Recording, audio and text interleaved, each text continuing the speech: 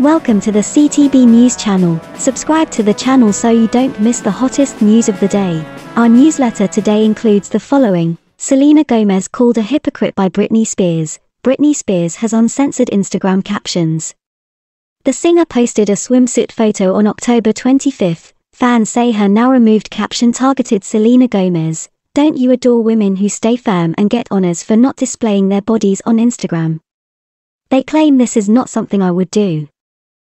But those women receive for million dollar budget videos about sucking and licking handmade ice cream, the caption said, these females have gorgeous bodies. Who cares? Should. So the next time I see someone with a huge budget video munching on lollipops while condemning other women for revealing their bodies, I'd like to warn them, don't be a hypocrite while you suck on your lollipop with huge budget fantasies. Why oppose girls gaining attention just like you when they have nothing? While Toxic didn't name anyone, fans picked up on clues.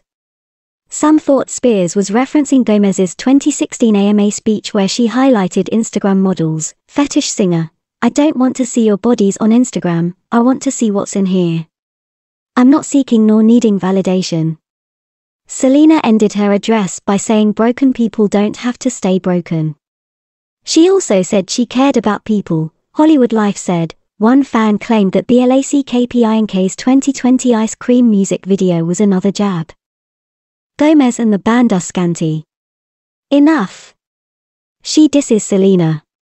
Why? So she mentions Justin Bieber.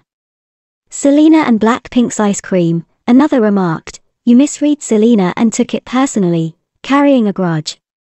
It's not all about me, Spears hasn't spoken, but she removed the caption and added three rose emojis.